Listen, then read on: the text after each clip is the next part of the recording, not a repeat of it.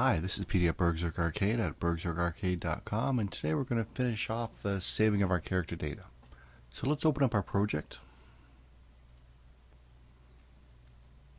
and let's just take a look at what we have.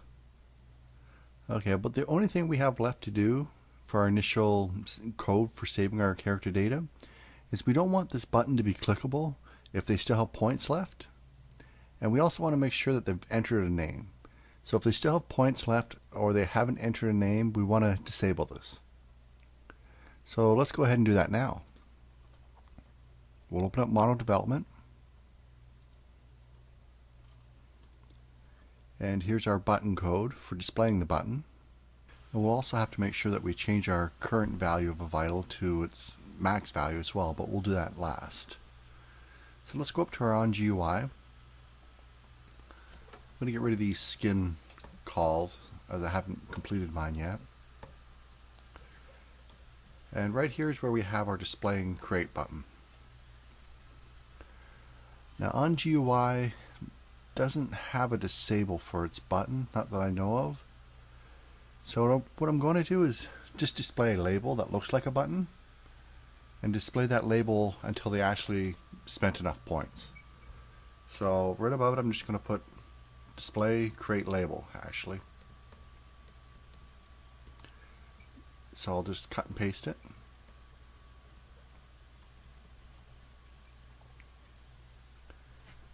And it needs to be above it. I'll go make that function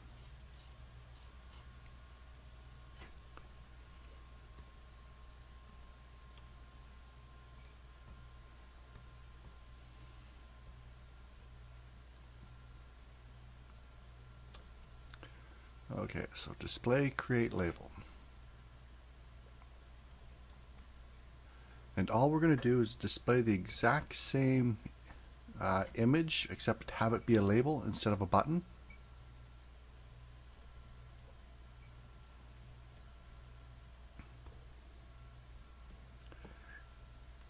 And we can do that just by saying GUI style and then quotes button.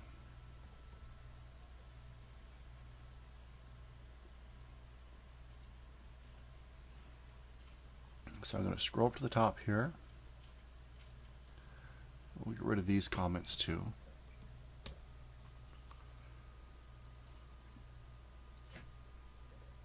Disable the button. We'll start it up. And it looks exactly the same as the button, except you can't click it. Now we're going to change this a bit. Now you should actually make a GUI style for this and make it gray or at least look different than the regular button. Generally you want to gray something out when it's not available. Maybe even change the label to something like spend the rest of your points or please enter a name. But let's just add the if block that's going to swap between the two.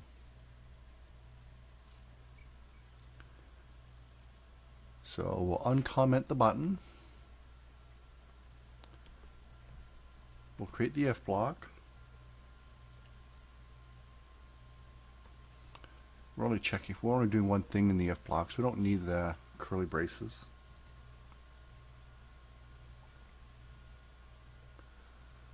So we're going to want to check to see if the name is empty. So we'll just cut and paste that. We'll make a comparison to see if it's empty. And if it is, we'll display the label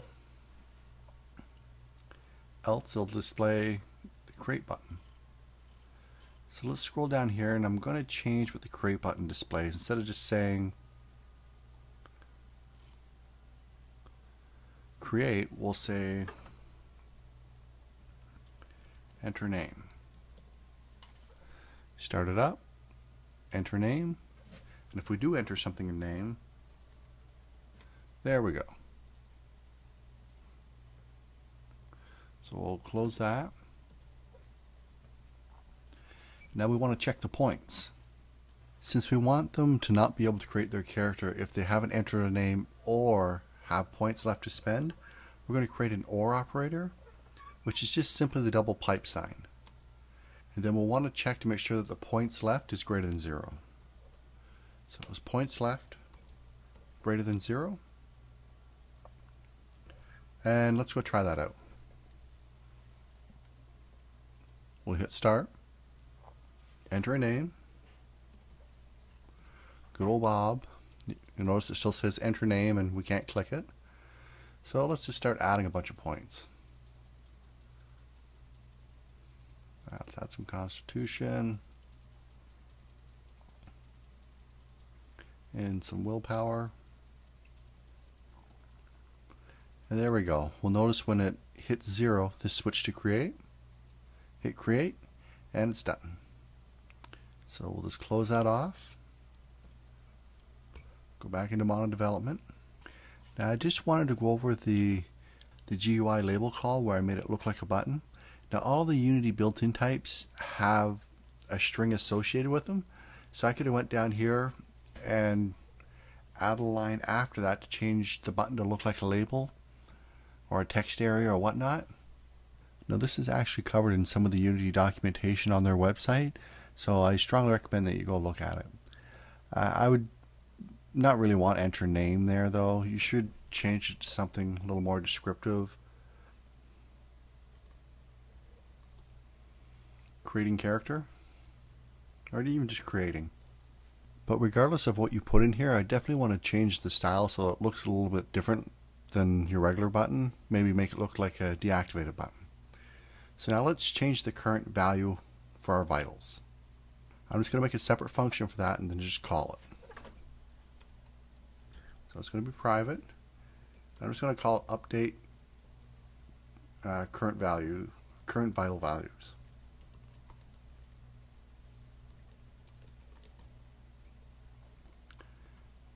And fix the typo and make the call.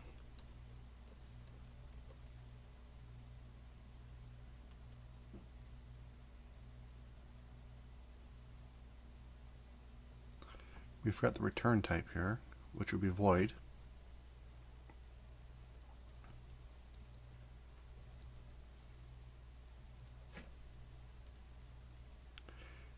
And now autocomplete should work.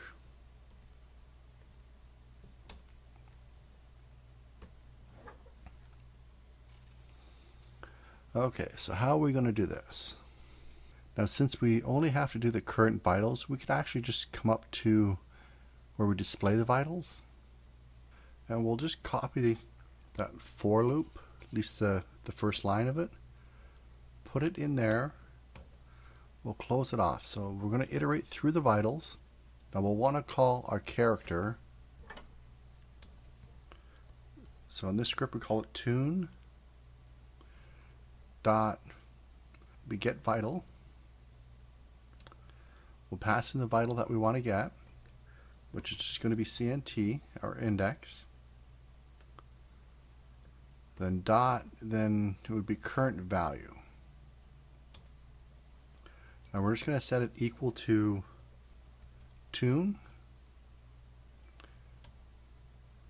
dot get vital, the vital we want which is going to be the same as the current value that we're working on. Dot and adjusted base value.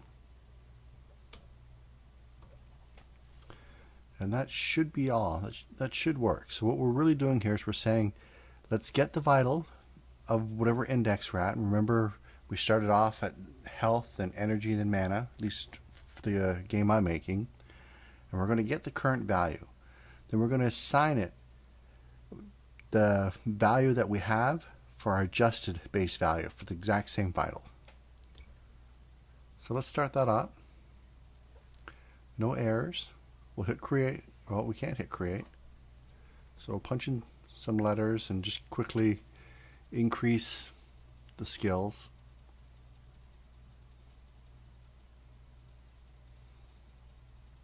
We'll add a little bit to willpower so his mana's up.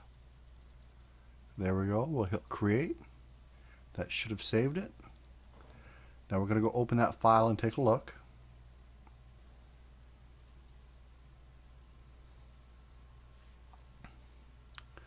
Okay, and we'll take a look at energy current value. There we go. Health current value. And the other one was mana. Current value.